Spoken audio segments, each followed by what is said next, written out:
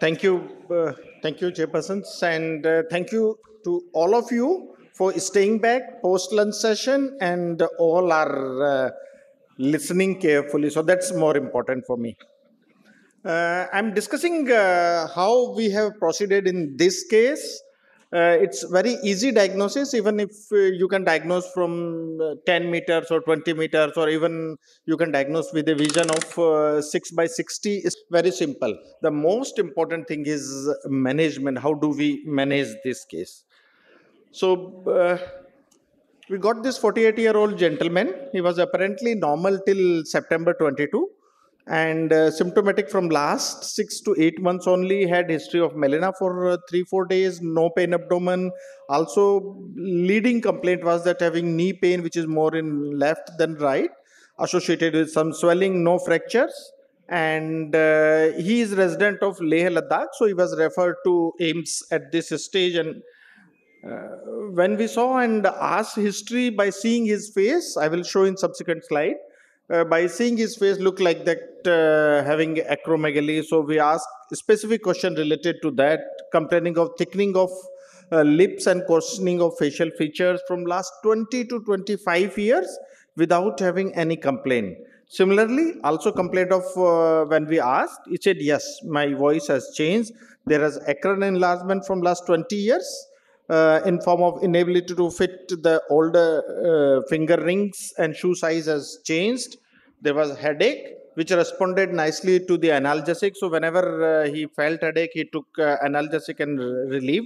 There was no visual field defects, snoring, chest pain, shortness of breath. This was as per history. Family history was also not significant with height was 174 centimeter which is not excessively tall but seeing uh, population from where he is coming ladakhi peoples are not that tall. So he was considered as tall in his uh, family. So this was typical face of uh, this person.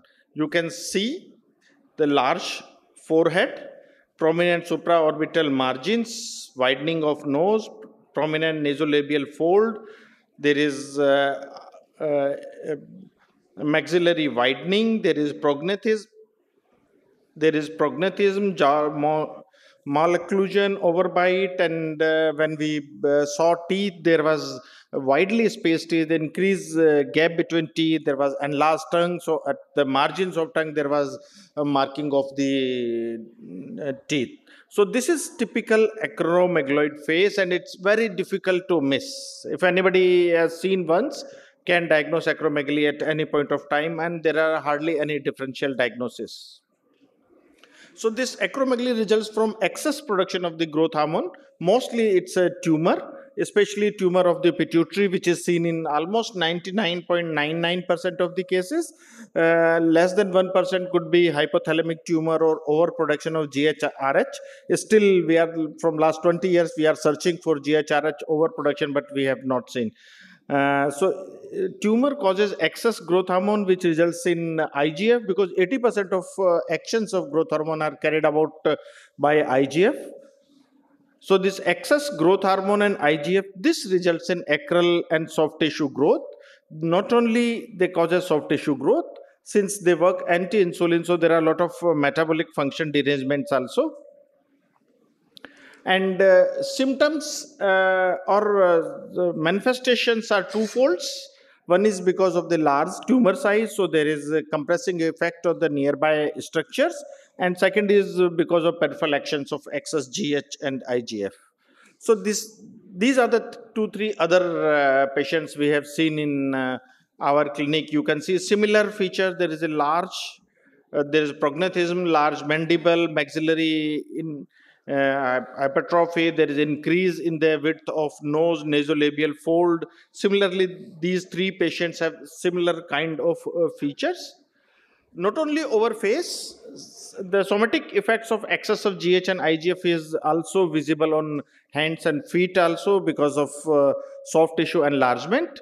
So uh, this is this is a normal hand and this is you can see the size of hand in comparison to normal and uh, there is thick, thenar and hypothenar muscles hypertrophy. There is hypertrophy of the distal phalanges and uh, not seen in this picture, but uh, typical description given in textbook is spade-like hands.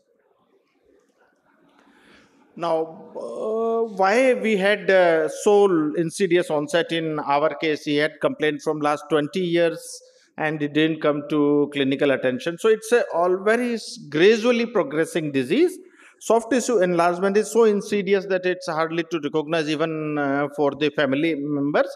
And most of the time they come to clinical attention whenever uh, there is a large tumor which causes visual impairment or sometime may go to dental orthopedic rheumatology or cardiac uh, problems go to these consultants and they refer that uh, yes there looks something abnormal increase in height yes possible because we know that growth hormone causes linear increase in the height if uh, this condition starts before the uh, fusion of epiphysis, in that case, we can have uh, we can have uh, increase in the height. So this is black and white photograph from one of our patients. Patient presented to us in 2015, and you can see that even if we see 1992, there was coarsening of facial features, which gradually progressed to this stage.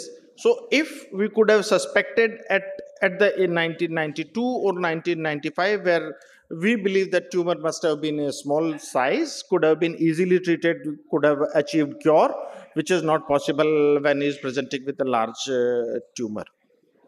Apart from that, face and hence there are other typical changes of uh, acromegaly like voice is so typical that uh, over phone can be easily diagnosed because there is laryngeal hypertrophy at the uh, same time parasinus uh, paranasal sinuses are increased in size. So it's a more hollow kind of voice.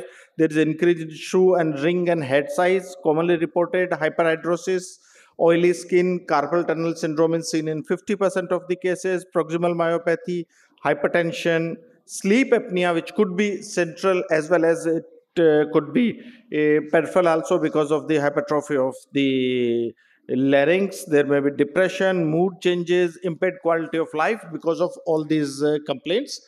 Uh, skin tags are commonly seen because of the excess of the IGF-1 around the neck and these are correlated with the presence of adenom uh, uh adenomatous colonic uh, polyp not only hand and uh, feet increases all organs in body increases. So there is generalized visceromegaly salivary gland thyroid heart liver spleen prostate everything increases in the size. So cartilage also increases in size. However the space in joint is limited. So if there is a car car cartilage hypertrophy leads to uh, difficulty in the mobility and pain heel pad thickness is one previously considered as one of the very diagnostic feature of the acromegaly and different x-rays were taken to diagnose that. But nowadays with wide availability of gh and igf uh, this is hardly used. Local tumor effect of pituitary mass is also an presenting feature in almost most of the cases since more than 60% or 70% of cases are because of the macroadenoma which is more than one centimeter in size. This in sellar stretching or pressure over the nearby structures can lead to headache or it may cause visual field defect because pituitary lies uh, just beneath the optic chiasma. So any growth of pituitary will push the optic chiasma and may cause uh, visual field defect. At the same time, it will compress the other pituitary cells. We know that it secretes uh, 6 by anterior pituitary and 2 by posterior pituitary. So all of these can be compressed and we can have deficiency features of uh, these secretion like hypocortisolism, hypogonadism and hypothyroidism.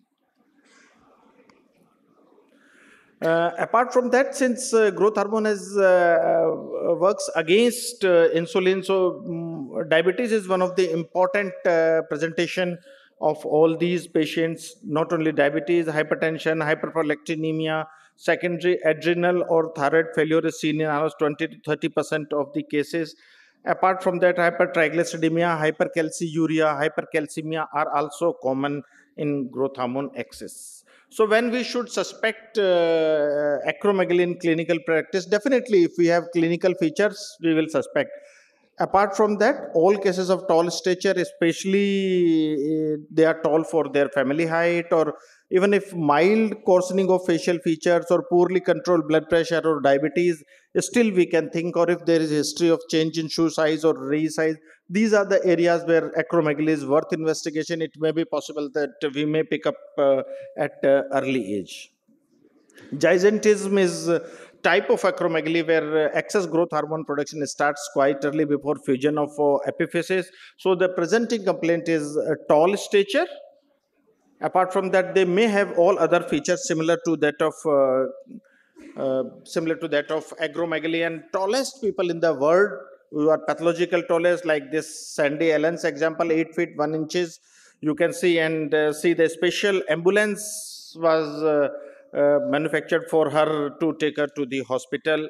And this is uh, example of another uh, lady Jainab Bibi 7 feet 2 inches. And this is tallest man of the world uh, Alam Channa which was 9 feet 4 inches from Pakistan ultimately uh, died of uh, renal failure. And this is this is our own tall person great Khali which is which is again case of uh, pre-pubertal onset of uh, acromegaly and this is uh, one of our patient uh, presented with gigantism she is mother and in comparison to that you can see how uh, daughter was uh, growing so diagnosis of acromegaly is not difficult. Once we have clinical suspicion, then we go for biochemical confirmation. Once it's confirmed that having acromegaly, then we go for radiological evaluation, do MRI to find out if there are any tumor or not and uh, then evaluate for the other uh, complications. So biochemical confirmation is not difficult since uh, glucose suppresses the growth hormone. So we want to see whether this is autonomous production or physiological production.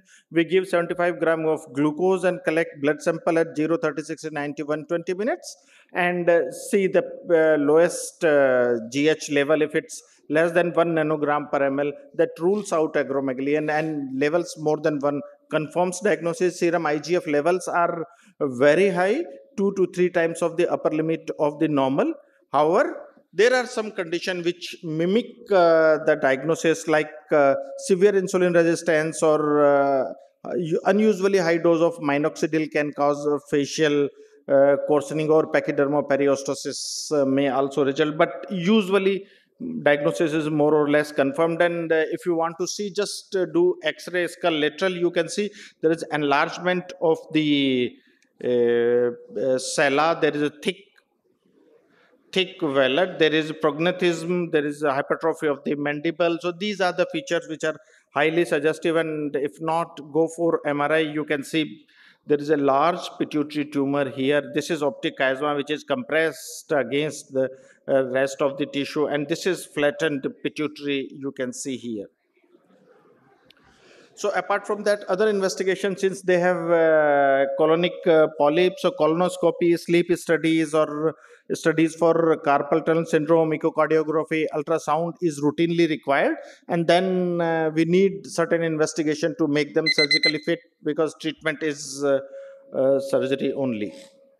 So after optimization of blood pressure and glycemic control and uh, associated hypopituitarism, surgery is the treatment of choice if required, followed by radiotherapy or medical management. So this is transnasal transsphenoidal surgery, which is very easy. You can you can enter through nose or you can enter through sublabial space. Go there directly because these are all sinuses, and uh, you can remove tumor, which is uh, highly successful and effective surgery.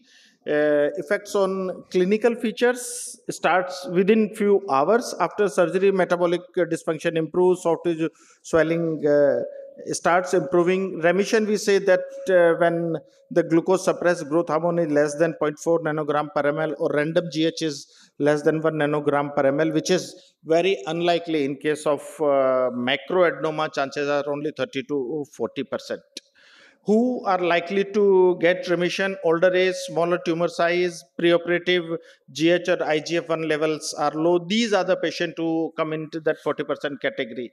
So post-operative management, again, uh, optimization of blood pressure control.